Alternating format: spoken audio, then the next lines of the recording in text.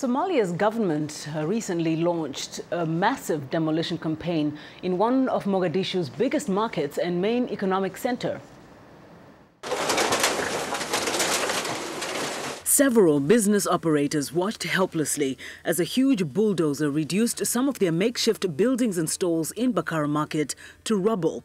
The market, which covers 2.5 square kilometers, was a livelihood to many, buyers as well as vendors, trading an array of goods from food and medicine to petroleum products. Bakara's business operators say they have lost their means of support in the ongoing demolition. The government has destroyed our businesses, yet they have not given us an alternative place so we can continue running our businesses. I don't know what caused this problem. But the government says the vendors were aware the demolitions were coming because they had been informed. Officials say crime was rampant in the market due to the disorder caused by the years of civil war and that some businesses were even selling small arms. City officials also say the only way they could curb criminal activity, regulate market activity and rid the market of what it calls illegal structures built on access roads was to embark on a massive cleanup campaign of the market.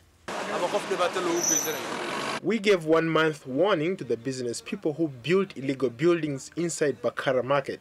But today we are destroying stalls for those who did not obey the government order. This destruction is taking place because of the security of Bakara Market.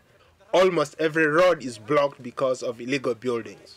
Bakara Market has a violent past. One of the bloodiest battles in the country's history occurred in 1993 between Somalis and American troops in which two U.S. Black Hawk helicopters were shot down and 18 American soldiers were killed. More recently, fighting between transitional federal government troops and al-Shabaab insurgents has seen rockets and other weapons land in the market, causing the death of hundreds of businessmen, women and children.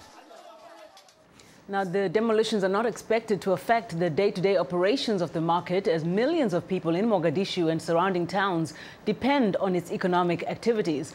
Government officials estimate that 3 million US dollars worth of trade was conducted in the market in 2009. 2011, excuse me.